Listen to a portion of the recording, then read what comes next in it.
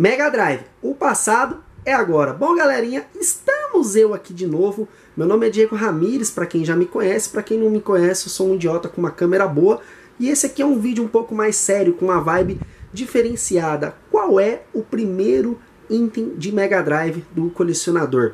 Eu atualmente, hoje em dia, tenho mais de 300 acessórios diferentes de diversas categorias, desde os piratinhas aos mais raros, né?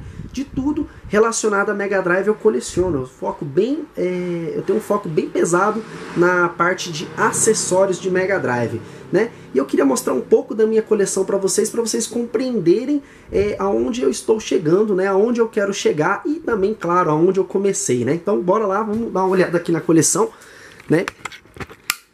Eu tô aqui numa maratona de vídeos aqui, ó. E eu deixei esse vídeo para ser publicado justamente nessa data, que é uma data é, importante para mim. Essa aqui é a minha coleção de Mega Drive, né? São vários acessórios. Toda vez que você entrar aqui no canal, vai ter um acessório novo, diferente. Né? A galera tá, da comunidade está sempre me ajudando. Enfim, né? Agora eu vou falar um pouquinho sobre é, qual foi o meu primeiro item de Mega Drive e o porquê que eu comecei sobre isso, tá? Mas eu gostaria de ressaltar para todos vocês, né, que é, antes de vocês assistirem esse vídeo, né, assista o vídeo do card acima, que é, é, o dia que o Mega Drive entrou na minha vida, que nele eu começo a história do começo, né? E tudo faz sentido, né? É, primeiramente, né, meu nome é Diego Ramires, eu comecei é, a gravar vídeos em 2007. É, naquela época, YouTube era tudo novidade, né? Então, é, o meu foco de um tempo para cá eu, foi, foi relacionado a acessórios de Mega Drive, né?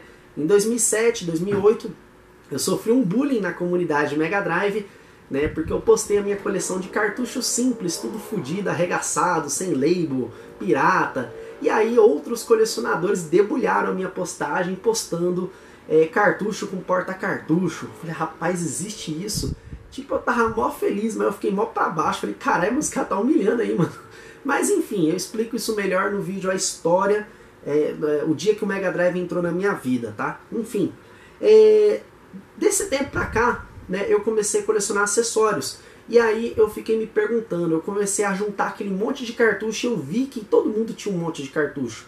E era tudo igual, eram sempre os mesmos jogos. Não existe um jogo que eu tenho e você não tenha, sabe? Também não existe o verso, você tem um jogo e eu não tenho, né? Ainda mais hoje em dia, numa época de Everdrives, né? É...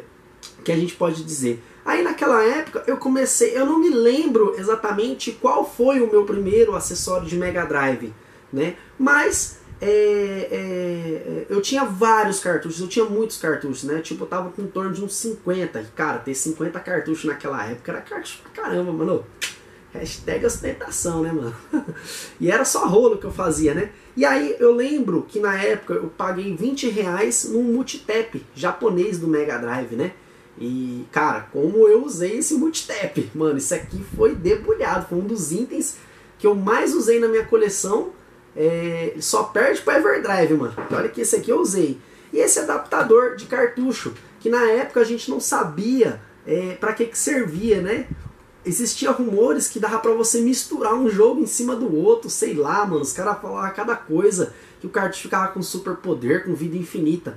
E tecnicamente era só um Everdrive, cara. Mas e aí, colecionador, qual é o seu primeiro acessório, né? Eis a questão, é um multitap ou um adaptadorzinho velho bicheiro da bichonga, né?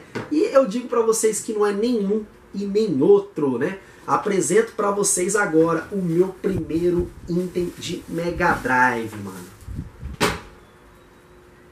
Olha aí. Certamente agora tá dando um bug na cabeça de todo mundo aí. O que, que é isso, colecionador? que, que é isso que eu não estou entendendo nada? Responde para nós aí. E sim, isso aqui é uma caixa de madeira, né? Aí você fala, rapaz, o que, que você tem que você tem tem uma caixa de madeira com Mega Drive, né? Bom, para quem assistiu o vídeo, a história é, é, do dia, o, o dia que o Mega Drive entrou na minha vida, né? Eu falo do meu pai, né? Que meu pai já faleceu, né? E meu pai não gostava que eu jogava Mega Drive, né? de tanto ele não gostar, eu virou um dos maiores colecionadores de Mega Drive do mundo, né? Então, tipo, é, é, é, tipo uma contradição, né? Você fazer aquilo que ele não gostava, né? Totalmente o oposto. Mas o meu pai, ele viu que em determinado momento eu tinha vários cartuchos, eu tava sempre trocando, fazendo rolo com a molecada e a coleção cresceu. E aí eu tinha uma caixinha de papelão, e cara, aquela caixinha de papelão cabia 13 cartuchos, ela sobrecarregou e eu fui colocando cartucho em cima. E aí meu pai viu que o negócio era, era bagunçado. E meu pai pegou e fez uma caixa de madeira, sabe? Aquelas madeiras de, de, de negócio de, de, de uva. Né? Ele pegou, ele, ele mesmo fez, né? pintou né? Na verdade, quem pintou fui eu, né? Mas é, essa caixinha ela tem capacidade para 30 cartuchos, né? E ela é, é, um item da minha coleção, né? Ela tava, ela tava perdida aqui em casa, aí eu achei ela, né? Depois de muito tempo eu pensei que essa caixinha não existia mais e eu fiquei muito feliz. Ela tava cheia de cupim, né? E aí a gente, eu passei um, um mata cupim né, isolei ela com veneno, né, pra, morrer tudo, morreu tudo, tá até emplastificada bonitinho, né. Eu digo para vocês, esse universo de Mega Drive é um universo muito grande. Para você que entrou no colecionismo, eu digo para você sair com urgência do colecionismo, porque não é para qualquer um. E eu não falo de questão financeira. É um negócio que toma muito tempo, é prazeroso? É, mas às vezes você não tem tanto prazer, você tá um pouco iludido na vibe né, o que acontece, a chamada modinha, né? Então quem é colecionador, né, se entrega e se joga de cabeça nesse universo, né? Uma das coisas que eu sempre digo, né? Então, é, uma das coisas que, que eu posso dizer para vocês hoje é que o Mega Drive, é, cara, o bagulho é foda, tô emocionado, falar do meu pai é foda. É, uma das coisas é que o Mega Drive, ele, eu, hoje eu tenho mais de 300 acessórios, cara. Eu não sei citar um por um. Eu sei que tem Mega Drive no teto, no chão, é, na parede, atrás de vocês aí da câmera, lá pendurado, no cômodo de baixo. Eu tenho um Mega Drive na casa toda. Tipo, eu tenho não só um Mega Drive, eu criei uma história, eu criei um, colecionador né, que envolve e tenta reunir tudo isso. Né? Eu conquistei várias amizades ao longo do tempo. Né? Sobre acessórios, eu tenho mais de 300. Mas, cara, com todo o conhecimento que eu tenho, com todos os itens que eu já vi, esses 300 não é 10% de tudo que existe, cara. E eu arrisco a dizer que eu sou um dos únicos colecionadores que colecionam somente acessórios de todos os tipos no mundo, né? Já achei outros colecionadores com coleções semelhantes à minha, mas são focados em alguns determinados assuntos, né? Tipo Genesis, só Sega, só Tectoy, só Coreia, só Japão, enfim.